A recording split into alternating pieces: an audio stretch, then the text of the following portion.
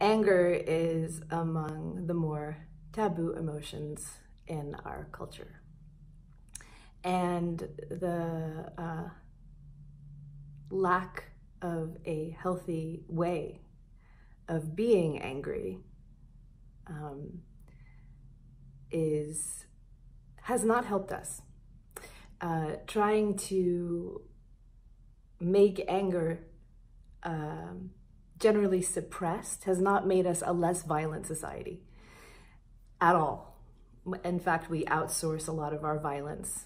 Um, and in the company of others, we are supposed to not be angry. This is so much more true for women. And the, the general, the general way in which anger shows up for women is in one of three ways. The most sleeping kind, the I'm fine kind. the other kind is the seething kind, where it's smoldering and shows up every once in a while with critical attacks, sometimes very hidden. Um, and then the third way is when it's been held down for long enough, just full on explosion, reckless, everybody goes.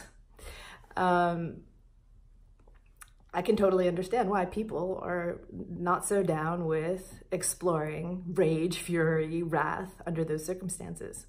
However, anger is a very natural emotion and it has a really, really beautiful purpose. Um, we never get angry about something we don't care about. We don't. If you don't care about it, you don't get angry. So hidden inside of anger is something we feel passionately about, something we love or care about. And the um, the wild thing is is that anger just may exist on this planet for a very, very good reason. And maybe it's been in front of our eyes this whole time.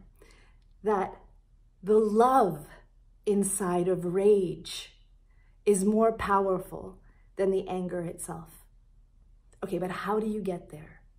How do you get to that place? Um, the uh, the first move of anger, right, comes up and out. It wants to explode, come up and out, and it usually hits a point of something it wishes to attack. Something you're fighting against. Anger is usually first, first takes form of something you're fighting against. And it hits that spot. I'm fighting against this thing. I can't stand this thing. I'm angry that it exists. It is unacceptable. But if you think about that, that thing that you're fighting against as a wall, right? You're pushing up against the wall, all your anger. Where the love wants to go is behind that wall. What do I mean? When you can identify what you're fighting against, and then you switch gears and think, okay, but what am I fighting for? Something beautiful begins to happen. If this wall, if this thing I'm fighting against went away, what beautiful thing would the rest of that energy try to create? If I am fighting against um, the oppression of women how I feel, for example, in a particular situation, I'm fighting against a particular person who I find oppressive and condescending. What is the bigger vision behind that wall? What am I fighting for?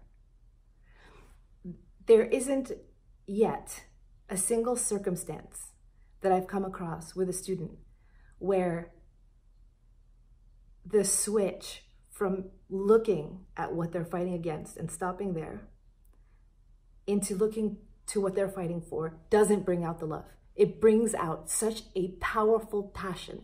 Anger could just be one of the greatest gateways to passionate life purpose, to to a, a, a, huge, beautiful vision for something that's so wanted that it justifies all that energy, all that fire, all that fuel. And when anger is suppressed, when anger is suppressed, one, we lose access to the energy in that. It just sits in our system.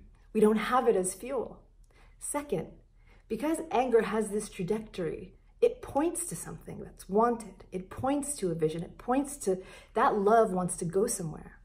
So, too, when we suppress anger, we're also missing out on, on really putting our attention, love, and energy into that vision we want to fuel. That's, that's, that's love, the love inside the rage, the passion to get us there. So, um, now moving from the first forms when the sleeping dragon awakens and starts to come out and it reaches the stage where it's reckless and boiling. That's not necessarily the the moment to, go out and try to um, get something done that's the moment to honor this fiery force and follow follow follow follow it to what the fight is for. Find that place, that vision, and then you have something to work with and the energy to make it happen.